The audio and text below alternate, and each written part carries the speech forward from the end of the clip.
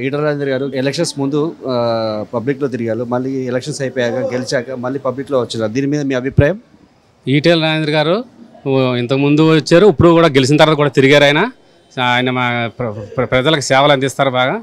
ఆయన నమ్మకం మాకు. ఈటల రాజేంద్ర గారి గురించి ఇంకా మనం చెప్పేది ఏమి అంతా ఆయన చేస్తారు. హండ్రెడ్ పర్సెంట్ ఆయన అప్పుడు ఇప్పుడు ఒకటే మనిషి అని చెప్పేసి. ఇది ఇప్పుడు రేవంత్ రెడ్డి గారు మల్కాజ్గిరి ఎంపీగా ఉన్నప్పుడు ఎలా ఉండేది ఇప్పుడు ఎలా ఉంది?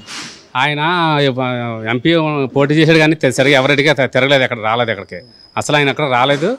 మా ఈటల రాయన్ గారు మాత్రం అన్ని అన్ని చోట్లకి తిరిగారు. అందరింటికి వెళ్ళారు. అందరింటికి వెళ్ళి అన్నీ కవర్ చేస్తున్నారు. ముందు ఎంపీ ఎంపీ ఎంపీ ఎలక్షన్స్ ముందు వచ్చారు. ఇప్పుడు ఎంపీ అయిన తర్వాత వచ్చారు చాలా హ్యాపీగా ఉందండి. ఏ రోజు ఏ ఎంపీ ప్రజల్లోకి వచ్చి సమస్యలు కనుక్కోవటం కానీ ఏ రోజు లేదు. కార్యకర్తలను కలవటం కూడా ఎప్పుడూ లేదు. ఇదే ఫస్ట్ టైము. మాకు కూడా చాలా సంతోషంగా ఉంది.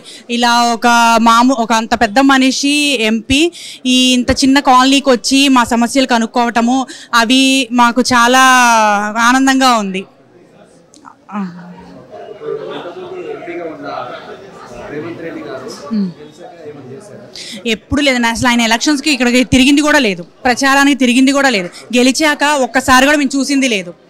రేవంత్ రెడ్డి గారి దగ్గర వర్క్ జరుగుతుంది అనుకుంటున్నారా ఇప్పుడు ఈయన దగ్గర మన ఈటల రాజేందర్ గారు అయితే ఈటల రాజేంద్ర గారి మీద మా హోప్స్ ఉన్నాయండి. తప్పకుండా మా సమస్యలు తీరుస్తారని అనుకుంటున్నాము. మల్కాజ్గిరిలో ఉన్న ప్రతి సమస్య ఆయన తీరుస్తారు. అదైతే హోప్ మాకు ఉంది. నెక్స్ట్ ఏమో టూ థౌజండ్ ట్వంటీ నైన్ ఎలక్షన్స్కి తప్పకుండా ఇక్కడ బీజేపీ అయితే వస్తుంది. రాజేందర్ గారు ఎలక్షన్స్ ముందు తిరిగారు పబ్లిక్లో. ఇప్పుడు మళ్ళీ ఎలక్షన్స్ అయిపోయిన గెలిచినాక కూడా మళ్ళీ తిరుగుతున్నారు. దీని మీద మీ అభిప్రాయం? ఒక విధంగా చెప్పాలంటే ఈటల రాజేంద్ర గారు రాజకీయ నాయకుల్లోనే ఒక గొప్ప వ్యక్తి.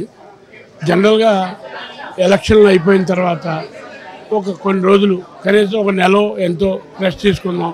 ఇతర దేశాలకు వెళ్దాం ఇక్కడ చల్లని ప్రదేశాలకు వెళ్దాం అనుకుంటాను కానీ ఆయనకి ముందు నుంచి కూడా ఒక పోరాట పడిమ ఆయన తెలంగాణ ఉద్యమంలో ఒక నాయకుడు ఆయన. ఆయనకి అలుపు సొలుపు లేదు. క్లియర్గా ఆయన స్పీచ్లో కూడా చాలా క్లియర్ చెప్పారు. మనం ఎంతో బాధ్యతతో వాళ్ళకి ఎంతోమంది వాళ్ళు సొంత మనిషిగా ఓట్లు వేయించుకున్నారు సో ఆ బాధ్యతను నేను నెరవేర్చాలనే ఉద్దేశంతో ఆయన స్పీచ్తో కూడా చెప్పడం జరిగింది. ఆయన వ్యక్తిత్వం చాలా గొప్పది.